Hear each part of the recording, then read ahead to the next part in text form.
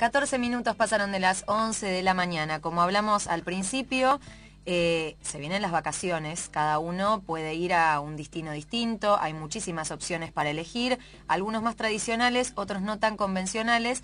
Entonces nos preguntábamos desde acá, desde Tiempo de Salud, qué tipo de cuidados uno tiene que tener, qué precauciones cuando elige lugares un poco más exóticos o tal vez lugares con sistemas de salud más precarios. En comunicación con el doctor Pablo Elmacián, médico infectólogo de la División Médica de la División Medicina del Viajero de Centros Médicos Estamboulian y el tema del cual vamos a hablar es la prevención especialmente de la meningitis en los viajes. Muy buenos días, doctor. Eliana Serra y el doctor Sebastián Barreiro los saludan.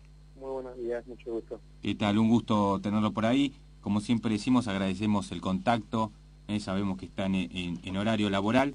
Pero bueno, un poco el programa este, lo que queremos hacer es brindar información y ahora con todas estas cosas que están pasando por ahí con las enfermedades relacionadas a los viajes y demás, lo que no queremos generar es que la gente se asuste, ¿no? Este, entonces, qué mejor que hablar con usted para que nos dé algunos consejitos de cuando uno viaja, qué, recaudos tomar, y también consultarle si este, la consulta eh, sobre este tema ha aumentado a raíz de estos últimos años.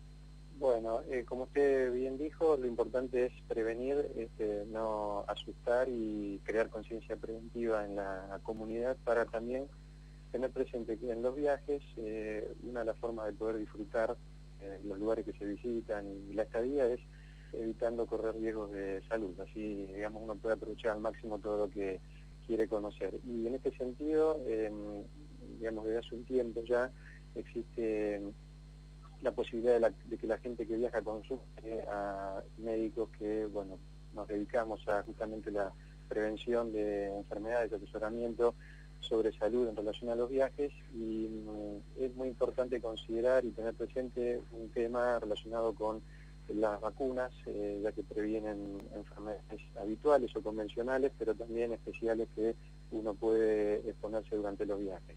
Eh, la consulta médica previa, que es una buena oportunidad para actualizar lo que llaman las vacunas, que muchas veces eh, no se tienen al día, eh, de las enfermedades convencionales como el tétanos, la hepatitis y sarampión y otras transmisibles por vía respiratoria, pero no dejar de pensar en aquellas que pueden exponerse en destinos tropicales, como la fiebre amarilla, que tiene eh, esto que, que, mencionaba también en cuanto a la meningitis, que en algunos casos hay destinos que se consideran de riesgo porque pueden haber brotes eh, o pueden haber lugares donde hay incidencia aumentada de la transmisión, eh, prevenir infecciones intestinales como puede producir la bacteria salmonella, en fin, es decir, hay vacunas especiales que se consideran también para los viajes.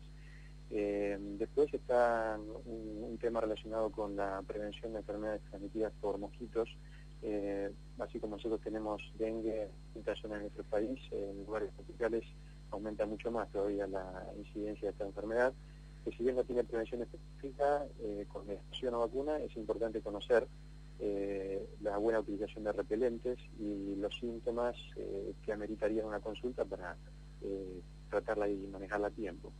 Y otras enfermedades como la malaria o paludismo, que también en algunas regiones sudeste asiático, Sudamérica en zona tropical, este, América Central, Caribe o África también pueden tener, de riesgo que se puede prevenir con medicación específica por vía oral. Este, otro tema también que hablamos y hablamos es sobre la gastroenteritis o la denominada diarrea en el viajero, bueno, según el tipo de viaje, duración de la estadía, eh, hay viajeros que tienen más riesgo de exponerse y bueno, que hacer hincapié en aquellos alimentos seguros, eh, cómo consumir bebidas seguras para minimizar el riesgo y en algunos casos ofrecemos también lo que se considera autotratamiento, sobre todo si no hay buen acceso a atención médica en el destino, como para que puedan saber cómo manejarlo con algún medicamento que puedan llevarse de aquí. Tal cual. Doctor, ¿cuál sería, digamos, la consecuencia más grave en el caso de que no se tomara ninguna precaución? O sea, si alguno de los viajantes dijera, bueno, yo no me preocupo por este tema, yo viajo de todas formas y no me hago ningún chequeo previo y después de última me fijo en el lugar si es que me llega a pasar algo. Bueno, hay lugares que ofrecen eh, centros de atención médica confiables, eh, los sectores del primer mundo, pero si van a lugares, eh, digamos, de en desarrollo, digamos, sin buena infraestructura sanitaria, me refiero a África, me refiero a Sudeste de Asia, o Sudamérica en áreas rurales, este, ahí pueden correr riesgo de que no tengan, eh, inclusive quieran poder conseguir una atención médica que les solucione el problema. Por eso, este, según el destino, que vayan a visitar, el tipo de viaje que hagan, no vimos el viaje de mochilero que turismo convencional, ¿no? Este, visitando ciudades, y eso, bueno, categoriza o difiere el riesgo que un viajero puede tener. ¿Qué medicamentos recomienda usted eh, llevar? Por ejemplo, no sé, los básicos o si llevar alguno más específico cuando uno decide viajar. Eh, sí, dentro de los básicos se considera algún este, antitérmico, antifebril. Eh, dentro de los básicos también alguna medicación para reacciones alérgicas como puede ser la loratadina, por supuesto diagnosticar una manifestación así de, reacción por alimentos, eh, después algún kit básico para manejo de heridas, eh, por si tienen lastimaduras, con una crema antibiótica, antiséptica y desinfectante con gasas. Eh, después, esto que yo le comentaba, medicación para manejo de, un cuadro de gastroenteritis o diarrea. dentro de lo básico sería lo que consideramos y después según el destino adaptamos algún agregado más este, sobre lo que surja delante de la consulta. Perfecto. Perfecto. ¿Y hay alguna contraindicación, digamos, mm, hay este, hoy por hoy uno por ahí puede tener acceso a cualquier viaje, como usted decía, África, Asia.